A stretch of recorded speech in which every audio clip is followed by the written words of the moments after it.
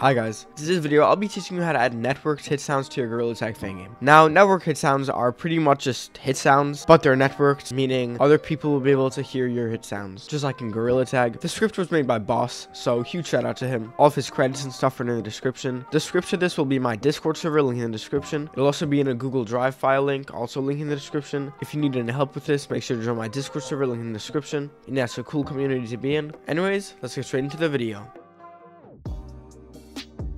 So here we are on our project. First of all, of course, you need to get the script. So either from my Discord server or from the link in the description. Get the script. It's called Better Hit Sounds right here. So you can just drag it into your project or right click, click import new asset and then find it. Just import it to your project. Now how this works, I'm going to use the floor for an example.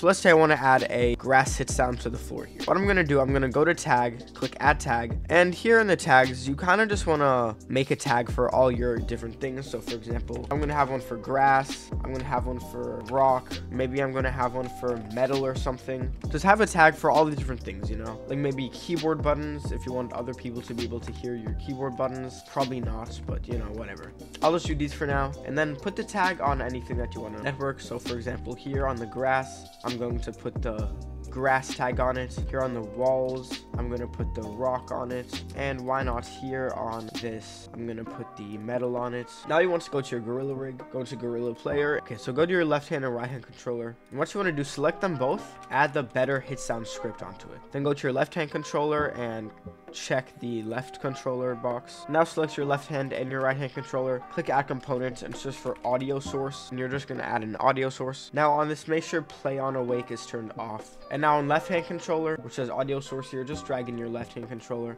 And on right hand controller, which says audio source, drag in right hand. Now go back and select them both. And on the better hit sounds thing, open up tag sounds and I'm just gonna click the plus here. For the first one for the tag I'm just gonna put in grass. I'm gonna make another one. I'm gonna name it rock. And for the last one I'm gonna name it metal. Make sure you spell it the exact same as the name of the actual tag. Now you need some hit sounds. And what's really cool about this you can do many hit sounds. So instead of it just playing the same one over and over let's you have like three of them it'll randomly pick one of the three when you hit the ground. So it doesn't just play the same sound over and over. But anyways find some hit sounds. You know if you want you could record them yourself or you could just find them from online for example, I have a hit sound here. So I'm to go back there and I'm just to drag it in for sounds.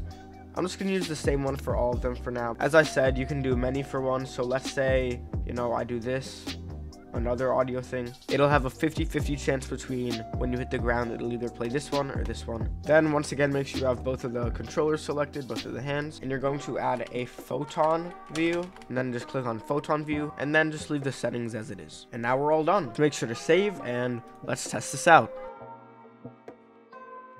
So now, as you can see, if we hit our hand, plays the hit sound. I made all the hit sounds the same sound, but they work. Anyways, guys, thank you so much for watching. I really appreciate it. Make sure to like and subscribe because it helps me out so much. The script for this will be in the description, in my Discord server, and in the Google Drive file link. Also, please consider becoming a channel member because it's only $2 a month. And for that price, you get so many awesome perks, including getting a shout out at the end of every single video that I make, just like the people on the screen right now.